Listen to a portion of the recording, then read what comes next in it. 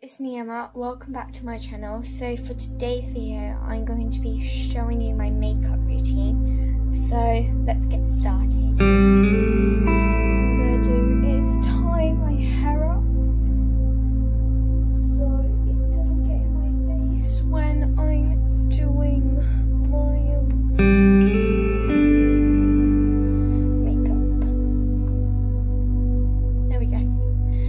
So first thing